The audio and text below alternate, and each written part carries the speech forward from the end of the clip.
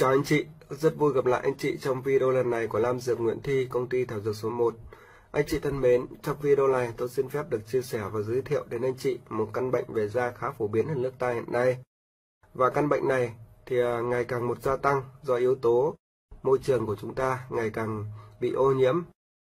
Và căn bệnh này đối với một số bệnh nhân mắc bệnh thì à, căn bệnh này thực sự là lỗi ám ảnh. Bởi vì nó khó điều trị, nó dai dẳng như cái tên gọi của nó. Đây chính là căn bệnh tổ đỉa. Thì à, tổ đỉa là một căn bệnh về da. Hiện nay thì à, Tây y chưa có phương pháp điều trị, chưa có thuốc đặc trị mà chỉ dừng lại ở mức độ là phòng tránh. Vậy thì căn bệnh tổ đỉa là căn bệnh gì? điều trị ra sao. Mời anh chị cùng tiêu điểm y tế tìm hiểu về những cái dấu hiệu nguyên nhân của bệnh tổ đỉa cũng như cách phòng tránh.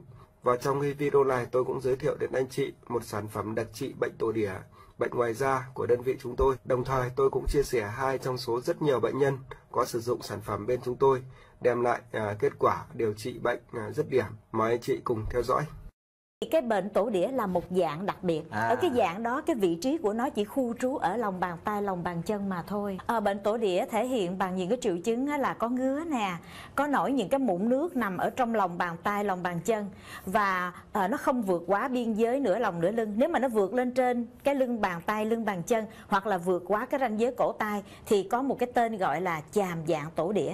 Tuy nhiên cái cái cái tên chỉ là cái tên gọi thôi. Còn về cơ chế sinh bệnh và cách điều trị thì nó giống như là của bệnh chàm à, bệnh này nó ngứa dạ. và khi mà nổi mụn nước sâu như vậy mình rờ nó cộm cộm ở trong da và nó không có những mảng đỏ trừ khi nó bị bội nhiễm sau đó thì những cái mụn nước này bệnh nhân người ta ngứa quá có thể gãi dạ. khi gãi thì nó vỡ nước ra thì lúc bây giờ nó lở loét ra à. và nó và khi nó một thời gian khi nó làm bị đi bị lại nhiều lần như vậy á, thì à, cái da nó có thể khô và bị nứt nẻ À, bệnh tổ đĩa thì tỷ lệ mắc bệnh nam và nữ bằng nhau. Đây cái tuổi mà thường gặp là 20 tới 40. 20 cái bệnh này 40. cũng có thể coi như là một số cái trường hợp bệnh nghề nghiệp cho một số đối tượng. Tức là dạ. không phải ai bị bệnh này cũng là làm nghề này đâu, hoặc là họ làm nghề đó là tất cả cùng bị bệnh như một số người. Cụ ví dụ họ dị ứng với xi măng là người thợ hồ. À, dạ, thợ à, ví dụ như là họ tiếp xúc với lại hóa chất, uh, phân bón thuốc trừ sâu, rồi những cái hóa chất gì đó thì nó cũng có thể làm cho bị là yếu tố dị ứng nguyên để gây ra bệnh này dạ. hoặc là do nhiễm khuẩn à, tức là nói bị dị ứng với những cái yếu tố mà có thể bàn tay bàn chân của họ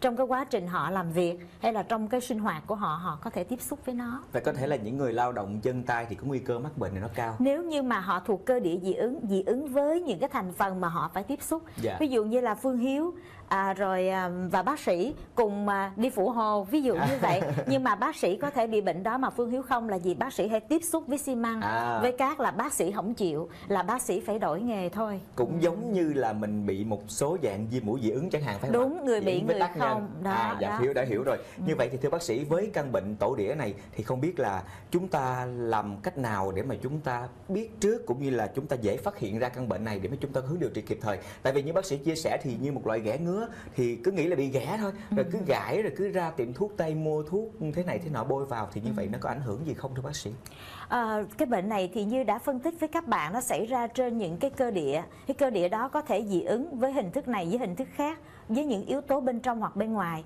mà một khi đã là cơ địa thì là nó là cái chuyện mà cha mẹ sanh xa thì nó như vậy thôi cho nên là nếu mà gọi là phòng bệnh thì chúng ta không thể phòng trước được yeah. Dạ. nhưng mà nếu mà trong một số trường hợp các bạn thấy có triệu chứng là ngứa nè rồi nổi mụn nước ở trong lòng bàn tay mà nó vượt không vượt quá biên giới nửa lòng nửa lưng hoặc là trên cơ thể có một cái vùng nào đó bị ngứa tôi thái độ tốt nhất là chúng ta nên đi khám bệnh để dạ. bác sĩ định bệnh cho chính xác có những cái hướng dẫn cụ thể mà nó phù hợp với lại cái tình trạng của họ để dạ. tránh đến cái trường hợp mà à, mình cào gãi hoặc là mình bôi lung tung quá thì có thể bị nhiễm khuẩn hoặc là bị chàm hóa hoặc là bị những cái tác dụng phụ của một số thuốc bôi do mình tự trị lấy. Dạ, cho nên thì cũng khó. Như vậy thì không biết là à, nếu mà đã bị bệnh này ừ. à, với kinh tế hoặc là thu nhập hạn hẹp thì à, họ có cách nào để chữa trị hiệu quả không? Hoặc là có loại thuốc đặc hiệu nào để trị riêng căn bệnh này hay không thưa bác sĩ?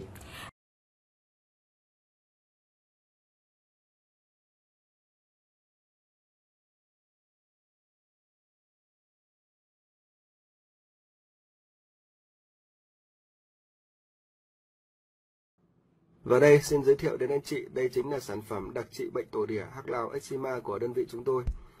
Và cái sản phẩm này được chúng tôi bào chế từ 100% thiên nhiên. Đây chính là hộp thuốc uống.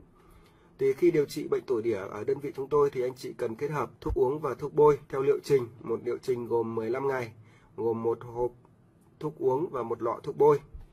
Thì đây chính là cái ờ, lọ thuốc bôi của đơn vị chúng tôi. Công dụng chủ yếu của của cái sản phẩm này chính là làm cái thuốc bôi. Và cái thuốc bôi này á, có dung tích là 20 ml. Thì anh chị chỉ cần bôi ngày 3 đến 4 lần, duy trì trong vòng 1 tuần đến 15 ngày là khỏi. Sản phẩm thuốc bôi này được chúng tôi bào chế từ hoàn toàn từ tự nhiên, được bào chế từ các cái chiết xuất cây kiến cò, hạt mồng châu, hạt bồ kết và một số các cái thành phần thuốc khác kết hợp với công thức gia truyền của nhà thuốc chúng tôi tạo lên cái sản phẩm đặc trị bệnh à, tổ đỉa rất là tốt, hiệu quả và không gây tác dụng phụ cho người sử dụng. Và đây chính là cái hộp hộp thuốc của lọ thuốc bôi. Thì chúng tôi làm cái hộp thuốc to này, trong cái trường hợp bệnh nhân bị nặng thì chúng tôi có thể dùng hai lọ trong một hộp. Và đây là hộp thuốc uống. Thì cái hộp thuốc uống này giới thiệu với anh chị công dụng chủ yếu của nó là tác dụng mát gan tiêu độc. Chúng ta điều trị bệnh tổ đỉa thì điều trị từ căn nguyên gây bệnh, từ các cái yếu tố bên trong khi nó kết hợp với thuốc bôi thì nó tạo ra một cái sản phẩm đó là trong uống ngoài bôi kết hợp như vậy thì khi điều trị khỏi các cái bệnh bệnh tổ đỉa thì nó khỏi triệt để nó không tái phát. Đó, nó có ưu điểm hơn các cái sản phẩm khác là chỉ à, bôi thôi. Bôi nó được một dạo thời gian thì nó lại tái phát lại. Thì cái thành phần thuốc uống của chúng tôi ấy, thì à, được chiết xuất từ hạ khô thảo, ké đầu ngựa, thổ phục linh, kim ngân hoa, đơn đỏ và một số cây thuốc khác của nhà thuốc chúng tôi. Và cách sử dụng thì cũng rất đơn giản thôi. Trước kia thì chúng tôi sử dụng cái thuốc sắc nhưng hiện tại chúng tôi đã bào chế ra dạng là thuốc viên thuốc viên này thì sử dụng rất là đơn giản, giúp anh chị à, tiện lợi. Ngày anh chị có thể sử dụng từ 20 đến 30 viên, chia ra uống trong ngày và uống sau ăn 30 phút cùng với ờ, kết hợp với các cái chế độ sinh hoạt như là kiêng đồ ăn, cay nóng rượu bia, thì ờ, giúp anh chị ờ, điều trị căn bệnh tổ đỉa một cách dứt điểm nhanh. Thì có những trường hợp bệnh nhân có thể là bị nặng hơn, lâu năm hơn hoặc là đã dùng nhiều loại thuốc khác thì có thể sử dụng kéo dài đến liệu trình thứ hai. Nhưng phần đa đến 80% là dứt điểm ngay từ liệu trình thứ nhất. Và sau đây tôi xin phép được chia sẻ hai trong rất nhiều bệnh nhân. Và sau đây tôi xin giới thiệu đến anh chị hai trong số rất nhiều bệnh nhân có sử dụng cái sản phẩm thuốc đặc trị bệnh à, tổ đẻ của đơn vị chúng tôi. Mời anh chị cùng nghe phản hồi. Thế nào? Thì lúc nói được không nói được hay chị nhỉ? Sao chị? Em gọi số này là chị em tìm lại em có phải cái số của chị không được trước em ở nhà em chữa tổ đỉa của bên đấy khỏi bây giờ có người hỏi thăm thì em đang định cho người ta số. Dạ vâng. Chị có phải ở vâng chị có phải ở đâu nhỉ? Ở Bắc Gì Giang nhỉ? Bắc Giang, Yên Dũng, Bắc Giang. Rồi rồi em cho mới vừa người ta xin số người ta bảo khỏi bây giờ em này phải cho người ta số em điện lâu lâu rồi em không không sử dụng cho nên là em không biết có phải số của chị không em vừa tra trên mạng đúng rồi, Yên Dũng Bắc Giang, Ê. thuốc uh, thuốc là uống là thuốc viên, thuốc bôi là thuốc nước đúng không? à, đợt trước em uống ở nhà chị cho chồng em uống là thuốc ờ, cái thuốc lọ đấy mới lại chị uống cái thuốc sắc ạ Sắc thì bây giờ nhà chị chuyển đến thuốc viên rồi. trưởng thuốc viên là thế thì thích quá nhỉ em bảo cái nhà em vẫn còn cái lọ thuốc đấy thì cái thuốc đấy có hạn sử dụng được lâu không Cái loại thuốc nước cái gì? vâng Cái loại thuốc nước bằng hai đầu ngón tay này đúng không? đâu cái lọ thuốc nước thì cho cho nhà em là cái cái chai mà đang quảng cáo ở trên youtube ạ Ừ đúng rồi, nhưng mà ý là bằng uh, nhỏ bằng 20 ml một chai đấy. Ờ đúng đúng, đợt đấy thì em lấy cả thuốc bắc cả của chị là năm trăm rưỡi một liều đấy, đúng gửi rồi. từ ấy về đó. Thì đúng nhưng mà lâu Em rồi. chữa cho chị lâu ngày rồi, chữa xong em cho mới người rồi ạ. Ừ, bây giờ là thuốc viên nên là bảo họ thế em lại không biết.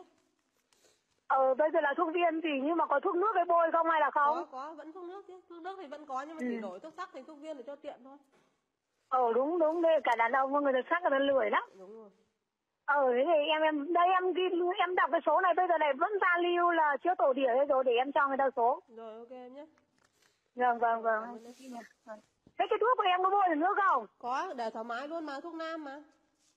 Vâng vâng rồi Cứ em cảm ơn nha.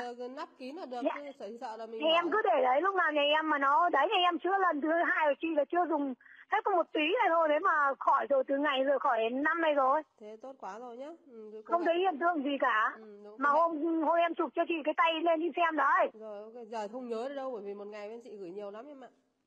ờ thì em cũng cho người ta ở làng em cho mới người rồi ạ. Rồi nhưng mà bảo họ phải phải kiêng đúng như hướng dẫn ấy thì hiệu quả nó mới nhanh em nhé. vâng vâng vâng vâng. Lúc rồi. bây giờ em cho số vào em alo. Liệu trình nữa liệu trình thuốc gì đến chị anh ơi cái thuốc mà chị có đĩa ấy. À vâng. À, gửi theo số điện thoại này anh. Dạ, vâng vâng mai bên em gửi cho anh nhé. Dạ, em em mua nó lần ba lần rồi. Vâng hôm trước anh đặt bằng số này ạ. Dạ, thế cái tình trạng bệnh là sao rồi anh? Thì nó thấy nó không lên được ấy ạ. Là mình cứ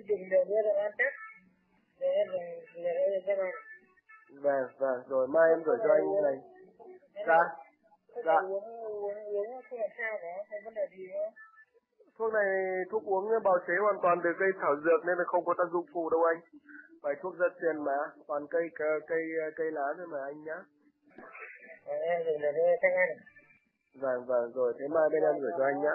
Rồi thế mai bên em gửi cho anh nhá. Cảm ơn quý vị và các cảm ơn quý vị và các bạn đã quan tâm theo dõi. Quý vị hãy đăng ký like share hoặc comment ý kiến riêng của mình ngay phía dưới video này. Cảm ơn quý vị và các bạn. Chúc quý vị các bạn có một sức khỏe tốt.